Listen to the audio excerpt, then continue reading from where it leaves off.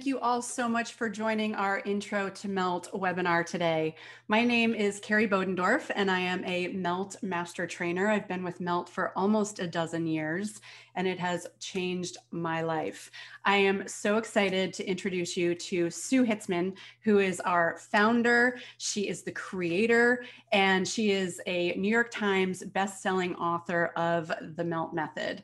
She's going to talk to us about why fascia or connective tissue is so important and how Melt can help you lead a more active, pain free life. After Sue's short presentation, she will turn it over to you all. So, what questions do you have? We're going to be bringing these questions to Sue so she can answer you live.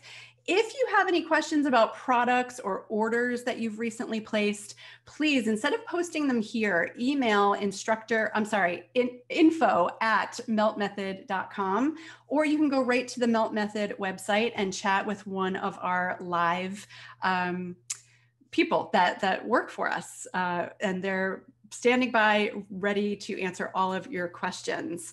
So buckle in everybody and we're going to welcome Sue and take it away, Sue. Hey everybody, welcome to the webinar today. I'm Sue Hitzmann, creator of the MELT method. Thanks for taking interest in our online instructor training. And today what I hope to do is give you insight on why fascia is important beyond muscles. So today we're gonna learn why fascia matters uh, on every aspect of your body, not just about releasing muscles, but how it matters in your health and well-being. And of course, if your goal is to live a vibrant life with less aches and pains and more vitality, vitality, I really want you to understand the role that fascia plays in every aspect of your health so that you can achieve that goal. Now, in the therapeutic and fitness industries, it's widely understood that fascia supports our musculoskeletal system and gives your joint shock absorption, and it is what keeps your muscles balanced and connected. Muscles and fascia are inseparable, scientifically called myofascia. The words myo means muscle, and of course, fascia is connective tissue, so myofascia simply means fascia relating to muscle. So there's lots of myofascial release techniques out there, foam rolling, trigger point therapy, theraguns, vibrating rollers, so many tools that claim to release fascia, but does fascia release? So today we're gonna create a new language to help you better understand why fascia is so critical to understand to help you live a more vibrant and pain-free life. So first let's start with what is fascia?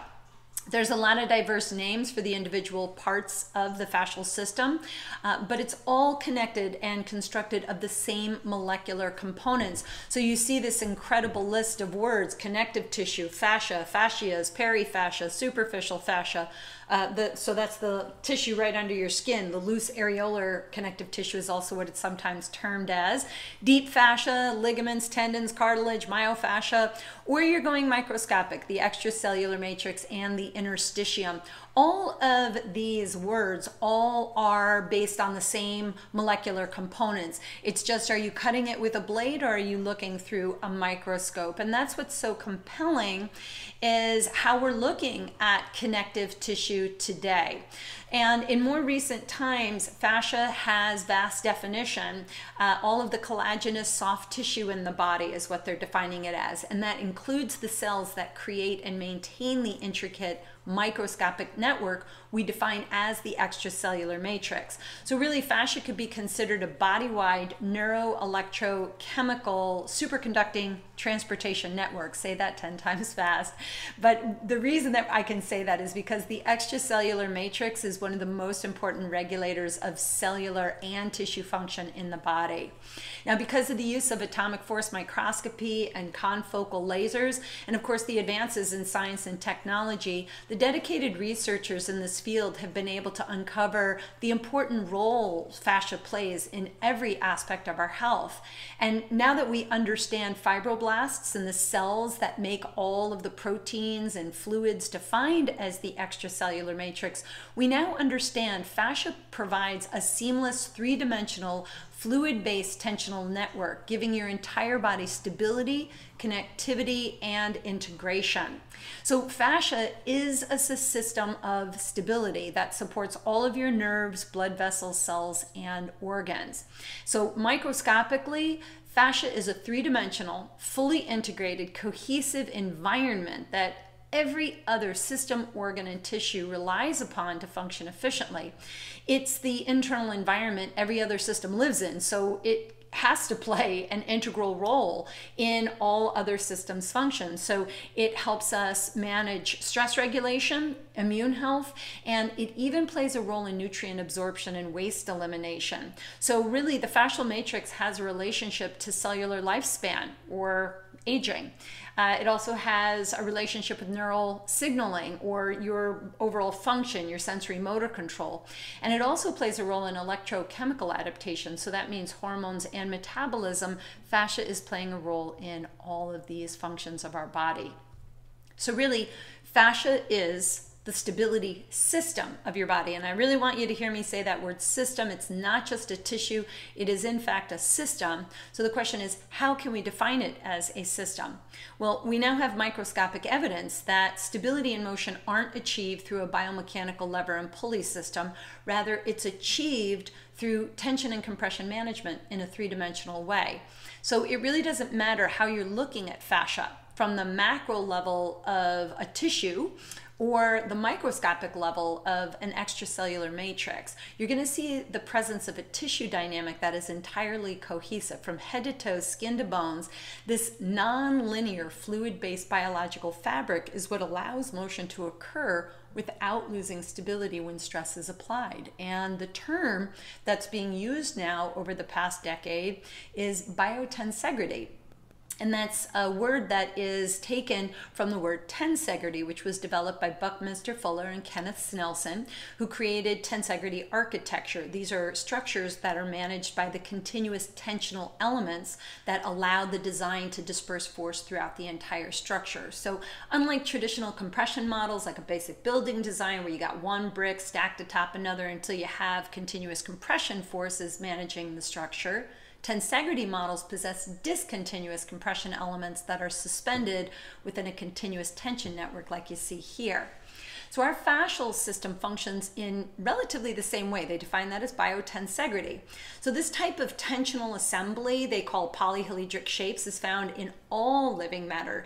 But in the human body, the only tissue that actually possesses this architectural form is the fascial system. But we see this in all living matter. And what I always love thinking of with fascia is think about it kind of like a spider's web, right? If a fly hit that spider's web, the vibration and the tolerance of that spider's web is going to disperse the force throughout the entire web so that no one area completely crushes. But when you have an injury or a surgery, it's kind of like you got a cobweb living in your body, right? Because a scar is going to create adhesion adhesion under the skin surface. So even if you have a scar and you think it heals perfectly, the underlying plane of fascia has remnants of a scar always. And we see that it, tissue presence in dissection time and again. In fact, people who have a gallbladder surgery might have a tiny surgical scar on the skin surface, but the underlying system has a great deal of scar tissue or adhesions that can penetrate clear through the visceral sac. So Again, it's important that we learn more about fascia and how to improve the fluid flow of fascia, uh, and that again is what MELT is all about. So really, bones uh, are managed by the tension created by the cohesive fascial matrix. Our skeleton does not manage our structure, posture, or stability. Bones are more like spacers, but the fascia is the continuous tension network that manages the discontinuous definable compression elements like your bones or your organs, right? So it's what's keeping your organs and your nerves and your blood vessels cushioned and supported and connected in a three dimensional way. Now, on a microscopic level, what's even more compelling is that cells are reactive to the environment that they live in. Cells need a solid mechanical environment to function in so that they can communicate with one another. So, when it comes to what maintains our overall stability, we now know that the fascial system, again, is the stability system of our body. And listen, when I say stability, I'm not talking about how well you balance on a Bosu ball. Fascia plays a role not only in our structural stability, but our emotional, psychological, chemical, neurological, hormonal, and cellular stability because, again, fascia possesses an inherent connection with every other system, organ, nerve, and cell in your body, uh, which is why they call it connective tissue. They're not calling it connective tissue for nothing. We could even call fascia a stress responsive system or a transportation highway for neural signaling. Fascia is a dynamic system that plays a significant role in joint stability, inflammation and wound repair, immune health, mental well being, and neurological regulation. So, again, I'm calling fascia a stability system of your entire body. So, when we talk about instability, when fascia loses its supportive qualities, our ability to manage stress on all levels is compromised, and unwanted compensation and adaptation can begin to occur without our awareness. And when I say stress, I mean stress of all levels. Right now, I'm stressed to your body, right? Living is stressful. You can't get away from stress. And in fact, Stress is a good thing. It's what challenges our body to sustain efficiency. But in this day and age, our bodies are a bit stressed out. So we want to understand a little bit more, and I'm going to talk about this as we go. But when it comes to fascia, it's not just the collagen matrix that makes fascia so supple and supportive. The interstitial fluids in fascia are what are playing a significant role in how we move as well. So if you think of the fluid in fascia like a river, Repetitive postures and movements of daily living can create sediment in the river that kind of alters our river's natural flow, causing excessive compression, pull, or friction on the tissue, and that can alter joint stability and mobility. I call this sediment stuck stress, and it loves to accumulate around our joints where fascia is extra durable and supportive.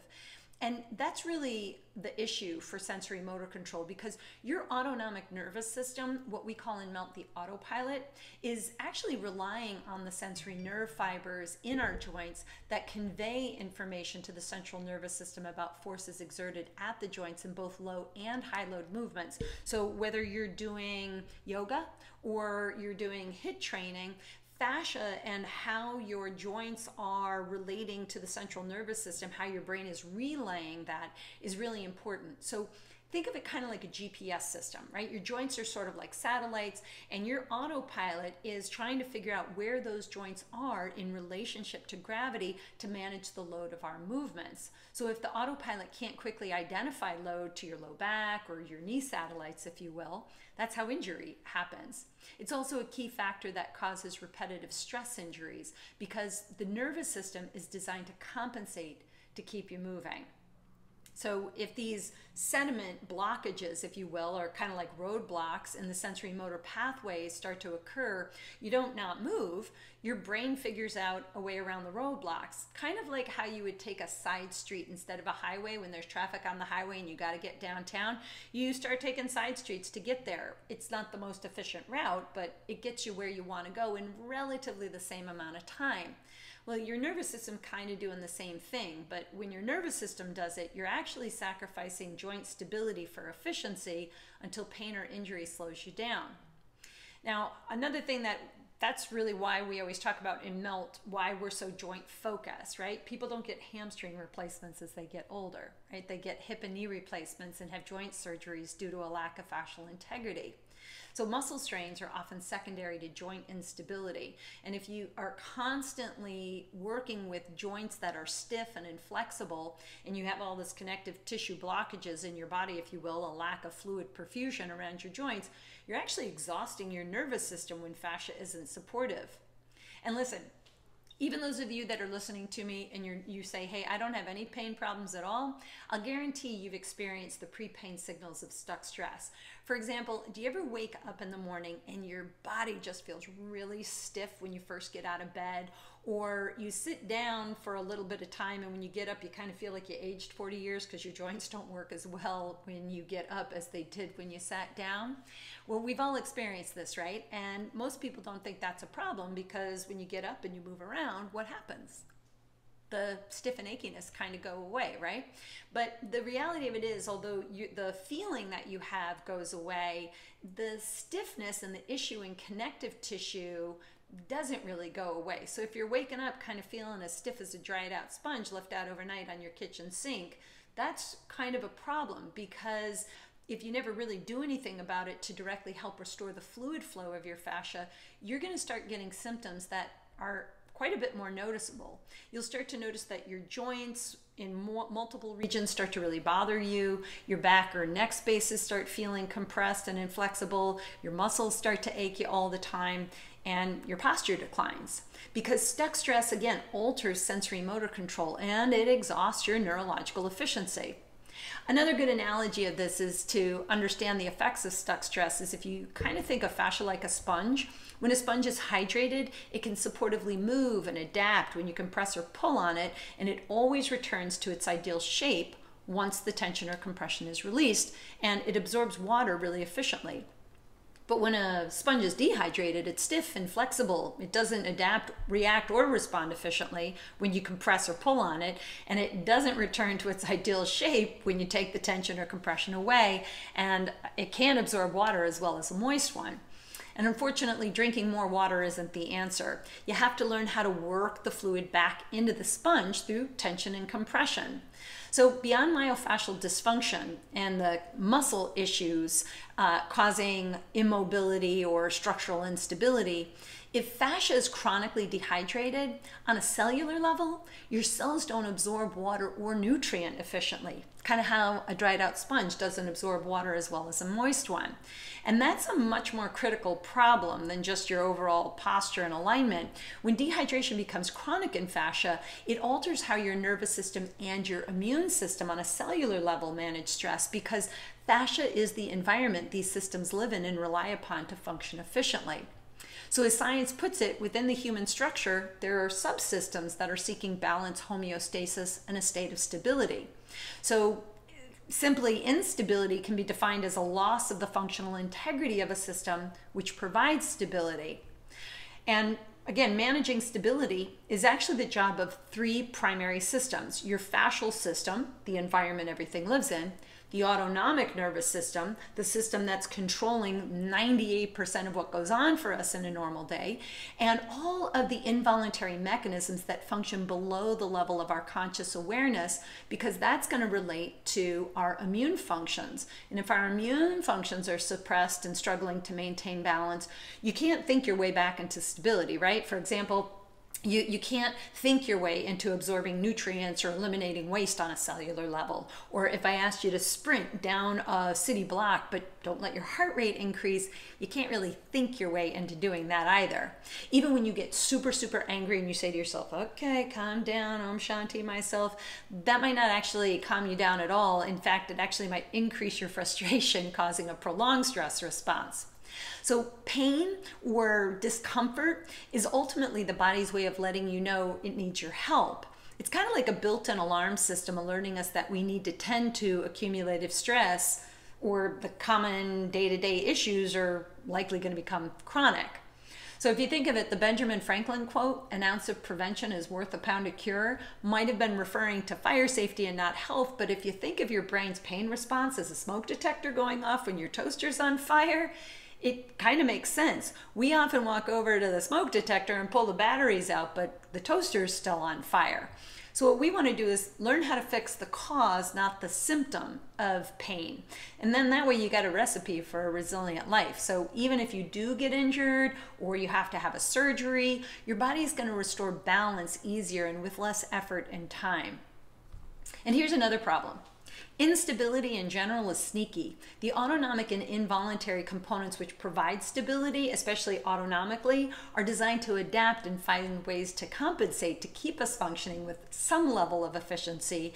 And here's the bad news is we don't even know that that's happening. And if your compensation for stabilization starts to occur, stability on every level is going to decline.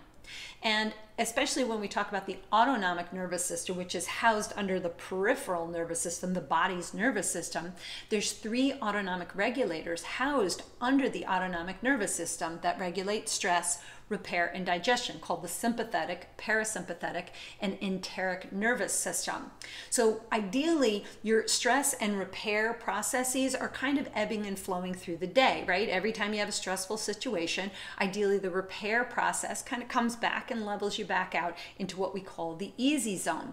But really, in this day and age, we are inundated with stress. From morning till night, we are just loaded with too much stress. And so, really, we're waiting until nighttime where cellular repair is dominant when we sleep to actually regain the balance. But what's happening with people's sleep these days? we're not really getting a very restful night's sleep. So if you don't get a restful night's sleep, cellular repair won't occur optimally and your immune responses over time can go haywire and become suppressed, which can ignite symptoms that seem completely unrelated to how you feel when you move.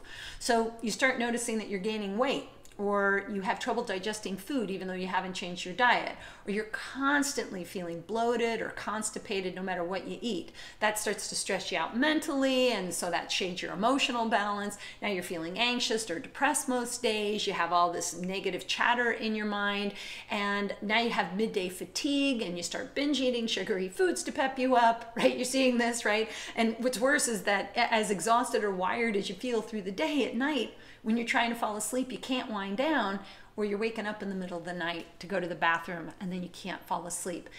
That's really the biggest problem of them all. Since most of your body's natural healing and repair processes occur again when you sleep. So if your sleep isn't restorative your body's natural repair mechanisms can't do their job and again you're waking up the next morning with a backlog of stuck stress your autonomic nervous system and the neurological regulators that manage stress repair and digestion get out of balance and if you can't balance yourself back out to the easy zone your gut microbiomes and immune system again are going to get suppressed and your mental clarity and emotional health is going to become more compromised.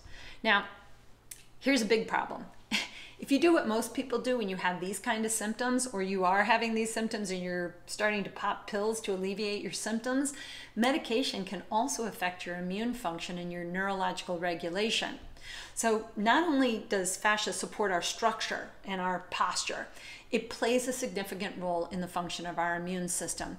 The lymphatic system is the most important part of your immune function and overall health. And as it turns out, there is no separation between fascia and lymph either. So, this fluid flow also helps with the absorption and transportation of free fatty acids from the digestive system. So, it also plays a role in the gut microbiomes and the metabolic system. And at the 2018 Fascia Congress, researchers like Dr. Peter And Neil Theise define the pre-lymphatic channels or interstitium as the conduit between fascia and lymph. And these interstitial uh, spaces are what are pulling excess fluid and waste from the extracellular matrix into the lymphatic system. And ultimately, that's how we eliminate the junk out of our bodies, doing things like breathing, sweating, or going to the bathroom. And what's been compelling since 2018 is these preliminary research findings further validate the importance of fluid flow dynamics. So, fascial hydration is a critical element in our immune processes. So, I'm going to be bold and say that fascia is one intuitive, huge endocrine lymphoidal system, and our fascia is playing a role in our in our immune processes.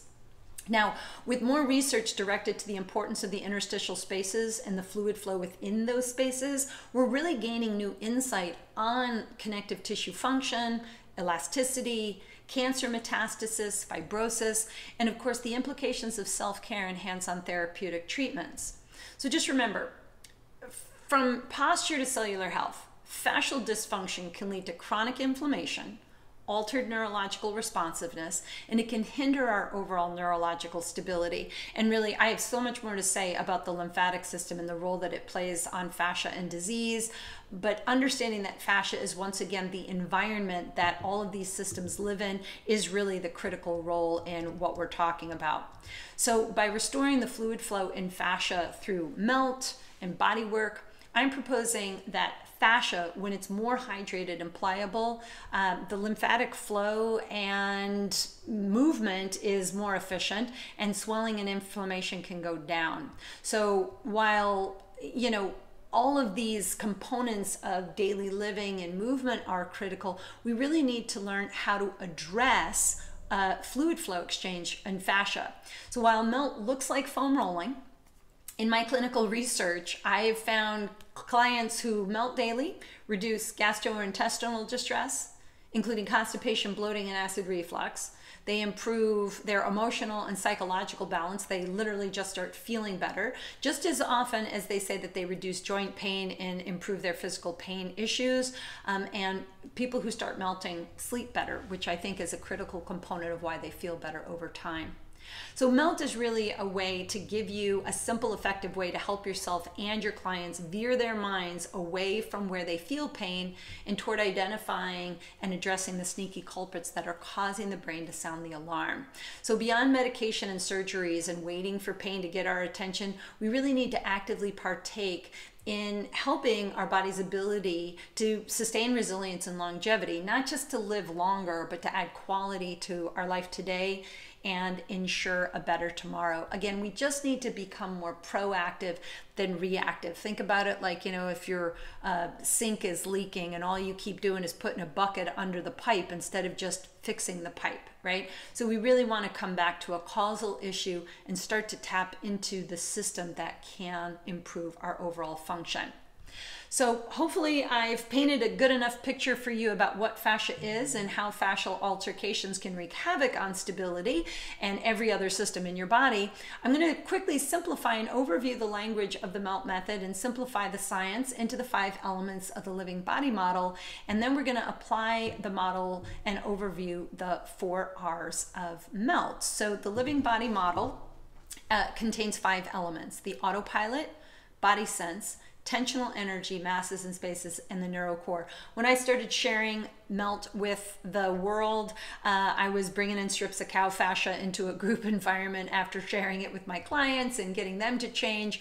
And it just didn't make any sense to anybody. So, as I started to infuse the science into a simplified language, it helped people understand how a living human body sustains stability and what was missing in their daily life. So, learning to melt is kind of like learning a new language. So the more you understand the language, the easier it is for you to melt. So the autopilot is the simplified way to say neurofascial system. It's defining the parts of your body that support, protect, and stabilize you without your voluntary control or conscious awareness. And it's a term that we use, and you can learn how to use body sense to evaluate how your autopilot is functioning. Is it efficient or not?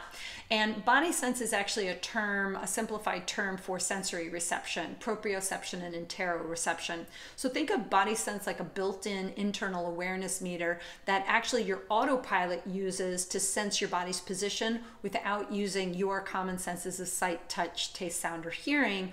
Your body is using, like GPS, body sense like sonar, to identify where your joints are to keep you upright and balanced. Now, the third is a very simple anatomical term uh, called masses and spaces. It, simpl- it simplifies anatomical language, and this is a structural assessment tool to help you improve your own body awareness and to identify common imbalances using body sense uh, so that you can identify issues in your tension and compression management before they cause autopilot inefficiency, but also using the masses and spaces term, you can identify if your autopilot is functioning efficiently or not. Uh, the fourth element is called tensional energy. This term simplifies biotensegrity, mechanotransduction, and piezoelectricity.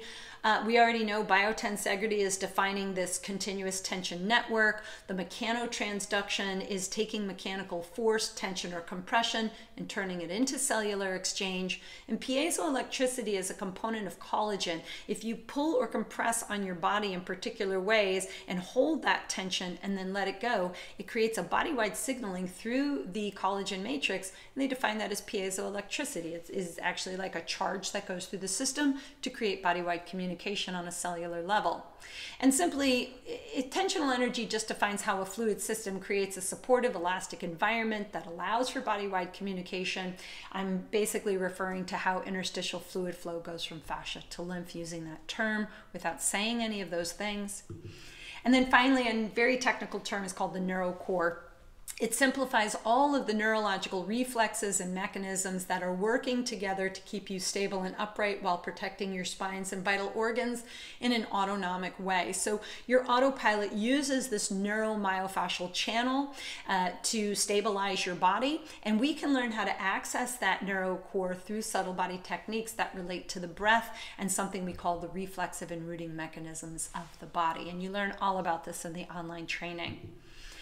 So we take that language and we apply it to the four R's protocol, which is basically just applying the living body model to your self care practice. And we do that when we talk about the four R's of melt reconnect, rebalance, rehydrate, and release. So what we do in Melt is we use soft tools. We have uh, softballs for the hands and feet, and we always begin with a large softball. In fact, you could just use that one ball and, and always just use that only.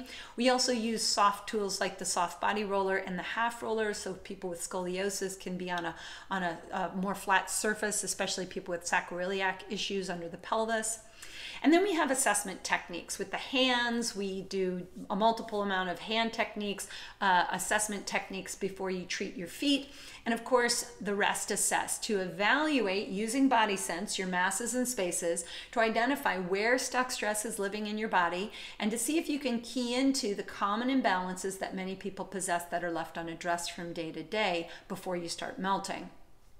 Rebalancing techniques access the neurocore reflexes and mechanisms to help the autopilot reacquire its connection to our center of gravity and also improve the neurocore efficiency. So, working with the breath in very specific ways, like you're seeing here the 3D breath breakdown, or the 3D breath actually activating the core reflex so that we can tune into some of these autonomic functions and improve the efficiency of them. And then we always come back down for a reassess after many of the sequences so that we can really value the changes and see if the autopilot resets. The third R of melt is rehydrate, and there's compression and lengthening techniques. The compression techniques used on the hands feet, and on the body are called gliding, shearing, and rinsing. And these are ways to, gliding is a way to prepare connective tissue uh, and also explore your body for cumulative stress. Shearing is a way to stimulate the cells of fascia and create that ignition through piezoelectricity through the collagen matrix. Rinsing is a global fluid exchange, creating a vortex like movement in the fluid of fascia so that we create this body wide exchange, even doing local compression techniques. So, whether you're using the balls or the rollers, we can treat different regions of the body and make these effects. Then we also have lengthening techniques like rib length or double arm reach, single arm reach. These are ways to create fascial tension across myofascial meridians. And we also know, very similar to compression techniques, if you cause tension to fascia in localized ways in a very organized manner and let it go, again, you can get that, that global fluid exchange, that piezoelectric charge through the full fascial matrix, and actually, again, begin to adapt your nervous system into a new state of balance. It's very profound to help your autopilot reclaim its connection to the joints of the body. And then the fourth R of melt is release. We have a neck release technique, a low back release technique, a sternal decompression, as well as decompression techniques like position point pressing on the hands and feet. And these are ways to, again, help the nervous system reacquire connection toward our primary spaces of the body to reset that neuromyofascial channel. And then, of course, after you melt, it doesn't matter how good you get at melting, we always assess and reassess at the end so that we can consciously value the changes, but to also give our autopilot time to adapt to the new placement of the body's alignment. So, one of the proposals we always make with MELT is why wait for pain and injuries to help your body function more efficiently? Because, look, if you don't spend time preparing and restoring the neurofascial components of stability, at some point you're going to spend a lot more time and money repairing your body after you have a problem or recovering from an injury. So, my proposal using MELT is it's a, just a proactive way to shift people from being reactive to pain. We really just do things after we have a problem. We need to become proactive and realize that we can actually boost our stability. And as we improve our stability, our efficiency of mobility, always improves. You can't be efficiently mobile if you're inefficiently stable. So MELT is really about recharging our stability components so that we live a better life. Self-care is truly the best health care. So I hope that that lecture intrigues you to wanting to learn more uh, about the neurofascial system and really dive a little more deeply into this incredible research that's out there now. And as a founding member of the Fascial Research Society and somebody who has dedicated 20 years of her life to trying to educate the general public and professionals about how important fascia is. I hope that this piques your interest to learn more. And of course, to find out more about the MELT method and become an instructor, we have a wonderful community of like minded individuals, and there's just so much more that I can share with you through the online trainings. So I'm going to hand this back to all of you guys uh, to find out more. And again, thanks so much for being part of our online course today. I hope that you got a little bit out of that. Uh, make sure three tips for you sip water frequently, eat water filled foods, and do me a favor go tell one person today how much you love them and how much you appreciate them. Because if you put a little bit of positive energy out into the world, it comes back to all of us. So I'd appreciate that. Happy melting.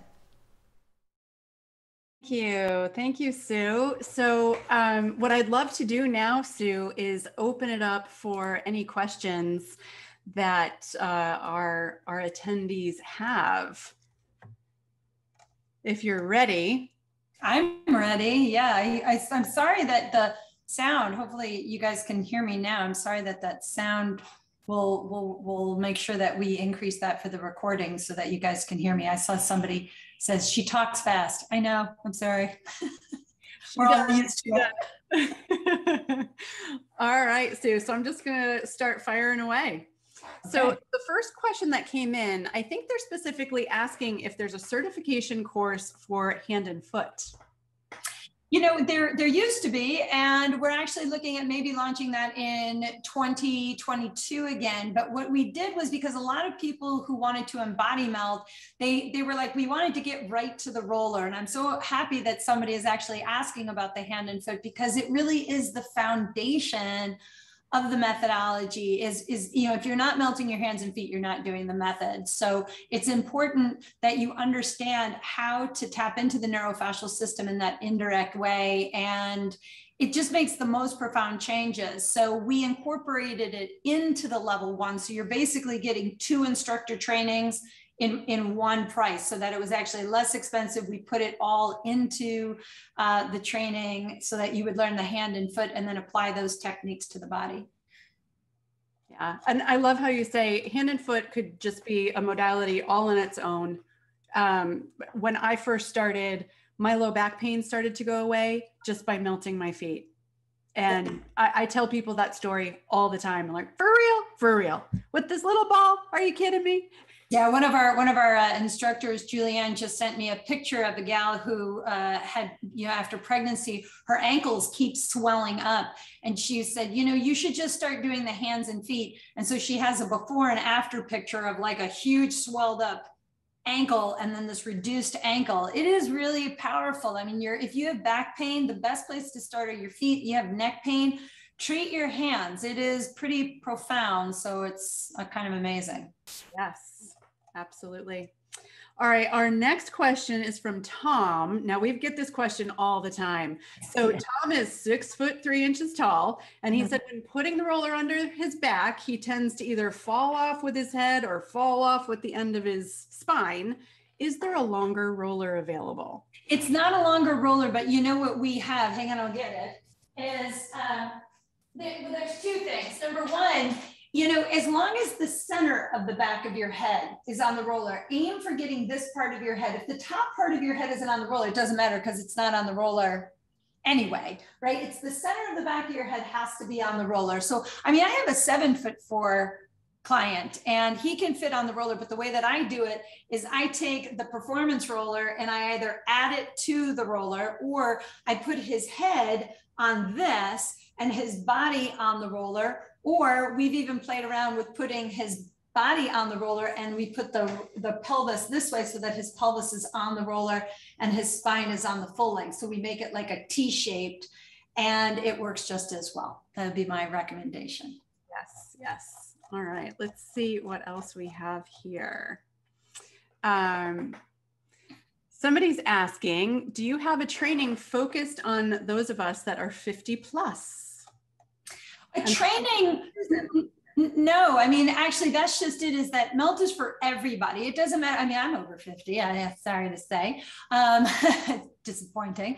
Um, but, but really, um, the beauty of melt is that it meets everybody where they're at. And that's the nice thing. The, the methodology is actually pretty vast. There's five levels of instructor training.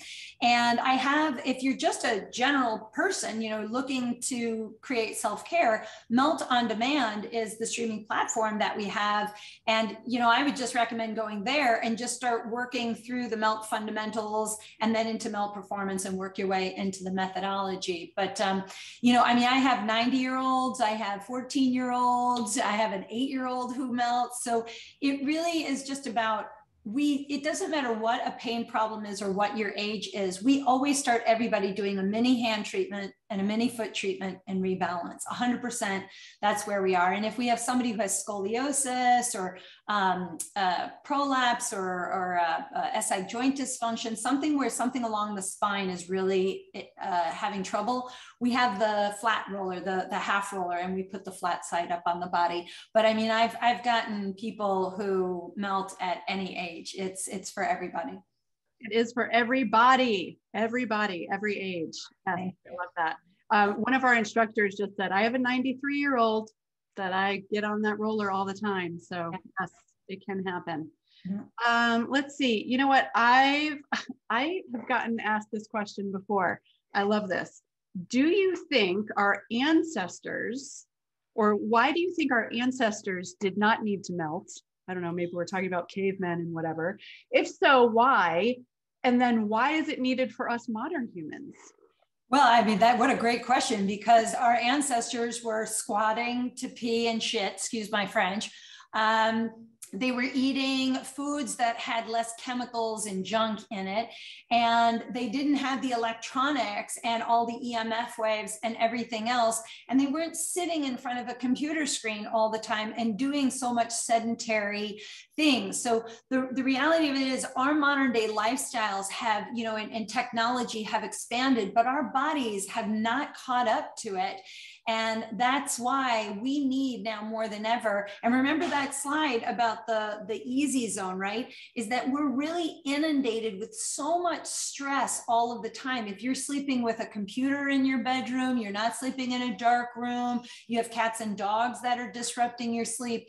It, you wake up the next day with a backlog of stress. And after a while, your nervous system, the actual rest and repair, has a hard time balancing out the cumulative stress. So that's really why in this modern day lifestyle, we are stressed out. Um, and even people who say, I'm not that stressed out, I'm like, you know, I beg to differ. When I talk to people who say that in 10 minutes, I'm hearing negative, conversations. I'm hearing a lot of emotional chatter, um, and a lot of people are ruminating in the past. They're not in the present moment at all, which is also going to create stuck stress in the body. Emotional trauma um, actually will cause more physical pain than a physical injury. And I'll share this. You know, when I first started in the fitness industry. And i you know i was working with high performance athletes. And when i got injured and i had pain and none of those things work it was pretty debilitating for me. But it wasn't until 2000 and or uh, when 9-11 happened when um, i had that rude awakening of post-traumatic stress disorder and people coming into my clinic who had worse pain than a person who got into a car accident.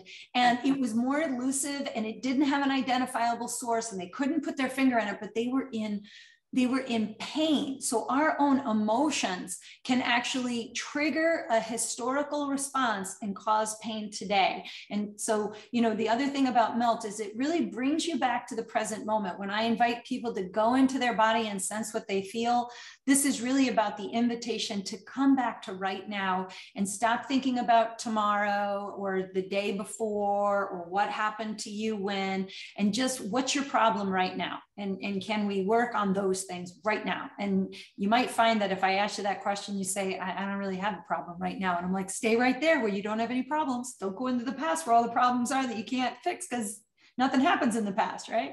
So emotions can really cause a response by the nervous system to go back and actually elicit pain again and again, even though there's nothing happening. So um, MELT addresses that too. We work with people with traumatic brain injury and people with post-traumatic stress disorder and all sorts of things. Yeah, helps calm their nervous system. They're able to sleep better at night.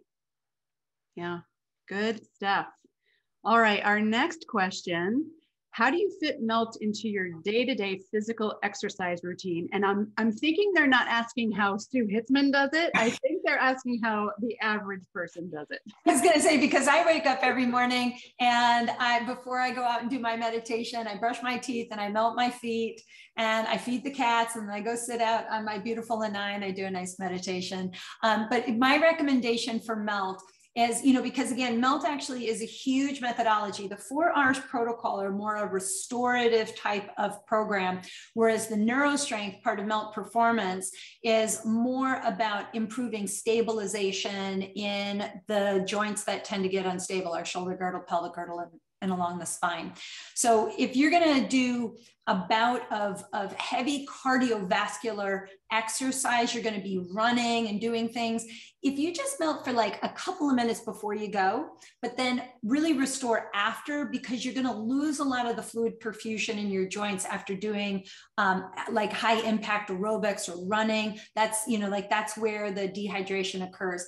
If you're going to lift weights, I often think doing some melt before you lift weights will minimize some of the compensating range of motion patterns that you have. It'll take the sensory motor control back into your hands so that you get uh, um, better mobility uh, as you train. So again, after cardio, before weight training, but really I would say just do 10 minutes in the beginning and maybe a little bit after. And, and i also if you if you do have pain um, i always uh, tell people if you if you are suffering with any type of chronic disorder disease illness of any sort melt about an hour before you go to bed because it gives your nervous system enough time to kind of then settle back in. And i always find when i melt before i go to bed i fall asleep faster and i stay asleep more soundly. And that really again is is how you get out of pain is get a more restful night's sleep yeah. And the rebalance sequence for me, I mean, it is such a subtle, awesome technique.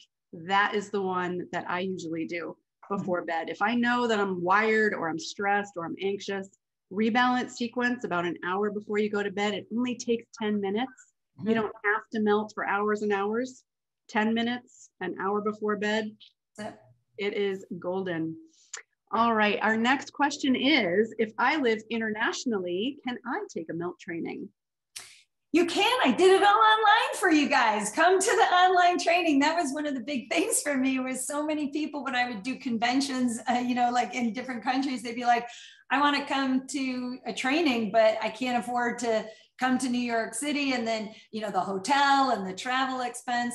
And, you know, COVID was kind of the blessing and curse for, for so many of us. And I had all of these instructors. I mean, we have thousands of instructors already going up into the upper levels of training so I said, let's just move it online and we'll give a world class experience online. And I have to tell you, I actually think the online training is better because just like y'all mentioned, I talk fast. So now you can watch the videos again and you again. Can pause. You can pause. you know so um, and and the great thing about our online trainings is we also have people like carrie and other uh, teacher instructors. We do live calls. There is assistance. We have private facebook pages. So we're constantly giving even more than what you pay for because we want people to go out there. My goal is to get people to help their communities. So you know i just i want to give everybody as much as i can of myself so that they will go out there and, and help people. Excellent all right, our next question is coming in from Brenda. She's talking about trigger fingers. She wants to know specifically what she should and should not do with the hand treatment for trigger finger? Okay, so trigger finger is something specific, right? Because the, the tendons are actually very long that control the, the arm.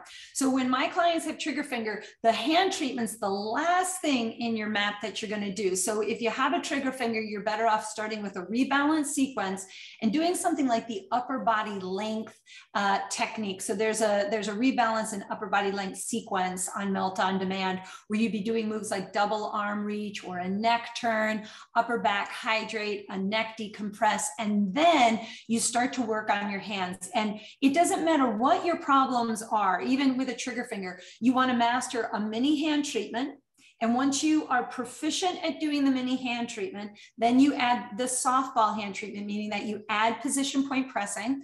And then you're going to add the small soft ball to do things like knuckle decompress and, and, and with the, um, the softball doing like forearm techniques. That's really where you'll make the change. The forearm is one of the very critical places to work on with the trigger finger, but also knuckle decompress. But just remember, don't just jump into the more advanced treatments. You want to really I mean, hear me when I say this, guys. Give your nervous system time to adapt to a new environment, but also get proficient with the basics. Get the fundamentals into your body and then drop in more and more techniques. Because, look, if you have pain, like I know everybody just wants to, like, you know, you're healed and it's over right? But but we are in a constant state of change and your world gets small when you can't change and that's what pain is is a, is a sense that you are not changing. So our goal is to build your nervous system back to a place where it's more balanced and efficient and then boost that fluid flow so that your sensory reception is more abundant and now you have a recipe to really make some lasting changes. Yeah Excellent. And people usually, like you said, they want to be out of pain now. Yeah. Sometimes it takes years and years and years, even a lifetime, to get into the condition that they're in. So it's going to take a little work to undo it. Yeah, be patient with your body. And remember, pain, remember what I said, it's like an alarm going off, right? And most often, I'll bet that if you've had pain problems, you've gone over to the alarm and taken the batteries out instead of really trying to figure out what it is. And here's another bad news is oftentimes you go to a doctor, you have trigger finger, you know what they're going to want to do? They're going to want to cut the tendon. Wait a minute, you know, like, hang on, isn't there anything else I can do? And a doctor will actually tell you no. But remember, a doctor is saying, I don't have anything else for you.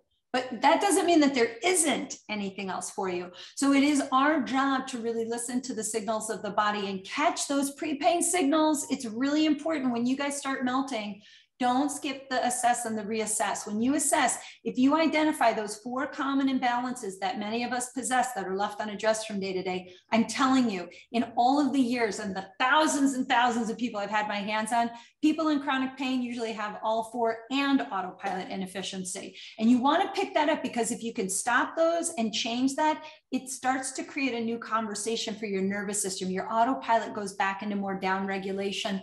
That's where repair can then happen. Yeah. Well said. Thanks. Next question. Do I have to take all five levels of the MELT training to begin teaching MELT?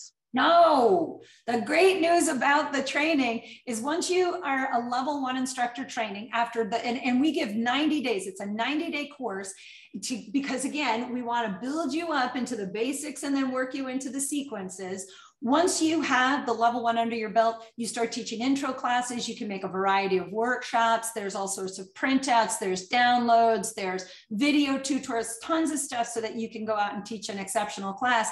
And then the great thing is when you get, if you decide to go to level two and add more, in as you're going through the training you can start to incorporate those right into your classes as you're learning. That's how that's the beauty of it. So it's like a constant back and forth where you're just adding and putting more layers on your cake. It's great. I mean there's you you get right out there teaching in 90 days. Yeah. All right. Excellent. Oh i lost my question. Um this is about how successful is melt with arthritis Amazing. I mean, actually, that was what, what is arthritis? Anything that has an ITIS is inflammation. Arthritis is inflammation of joints. So there's osteoarthritis, right? There's rheumatoid arthritis, but in general, arth- arthritic conditions can be radically helped by tapping into fascia. Fascia is the system that is getting inflamed and causing you inflammation in your joints. There's not, there's no muscles around your joints. It's all fascia. So what we want to do is start to rehydrate that tissue. And here's the secret with arthritis. It's a daily thing. And your best bet is doing this, going to like, and, and I saw somebody ask like, Hey, I have a problem. Where do I start on melt? Everybody that goes to melt, I'm going to recommend that you go to the hand and foot fundamental collection and learn how to do the softball hand and foot treatments and start there. That's the place to learn. And then go to the melt fundamentals. There, you're going to learn the rebalance sequence, the upper and lower body compression and length sequences, the neck and low back release sequence. Just learn the seven fundamental sequences. Does not matter what the pain problem is, but what you will learn there is hey, if you have upper body pain, start with the lower body techniques. If you have lower body pain, start with the upper body. That's called the indirect before direct approach. We don't go right after the areas that we have pain. We want to try to support and bring more fluid perfusion to those areas, and then we start to address those directly. So start there. Go to the fundamental collections on Melt on Demand. So we might have room for one more question. It's about one minute of five. So let's do this one. Um, is MELT helpful for people who have increased connective tissue extensibility? Um, she's probably talking about Ehlers or, you know, yeah, like exactly. flexible yeah, this is this is actually I think the coolest thing about the discovery for me about connective tissue is that connective tissue there's something called stiffness and elasticity. Stiffness is fascia's ability to resist distortion when stress is applied. The elastic property isn't about how much fascia moves and adapts, that's just what it's constantly doing, but it's about how quickly it returns. So if you have a mixed connective tissue disorder like Ehlers-Danlos or um, uh, uh, scleroderma where you're super stiff, like it doesn't doesn't matter which side of the spectrum you're on, as you start to hydrate fascia, you improve the tone, the stiff to elastic balance of fascia. And then once you have that stability in the fluid flow, you've moved that. If you have and if you have one of these mixed connective tissue, Marfan syndrome, Ehlers, where you're hyperelastic, you, you tend to be more hyper flexible you guys are the ones that should go to the um, Melt Performance Fundamental Collection and start reestablishing joint stabilization. It's a sensory motor issue that is also existing with Ehlers. It's not just the fascia, the, the sensory motor feedback is low in tone. It's a constant. So what we want to do is reestablish some of that neuro strength to the nervous system, get the sensory motor control back on track. So once you learn the fundamentals, your job is to now get the neuro strength back on track. And, and that's, that's just a, a simple principle uh, for anybody who's hypermobile. Yeah. All right, Sue, thank you so much for answering everyone's questions. We have so many other questions that have rolled in, but we're at maybe, hey, maybe maybe what we'll maybe what we'll do, Carrie, is if, if I can get these questions, maybe I'll do a Q&A on uh, Instagram for you guys and keep the conversation going because you guys are asking a ton of questions and I'd love to be able to answer them. Yeah, absolutely. So right now we have representatives standing by on meltmethod.com to answer whatever questions you have. Remember, we have a level one training starting in September. It's uh, September 21st is our launch date.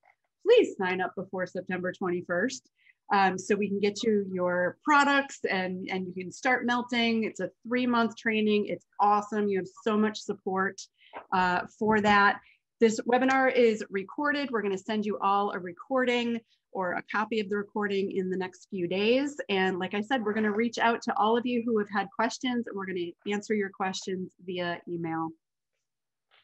Awesome. Wonderful to have all of you guys on. I hope that this gets you excited about learning more about your body and what it takes to lead a more active, healthy life. And just like Carrie said, I hope that you'll join us for the instructor training. It is so much fun and you'll be with so many like-minded people. It's such an incredible community. So big shout out to, I see all that some of you guys are instructors. So big shout out to our instructors. I love you guys. So thanks so much for being part of the call.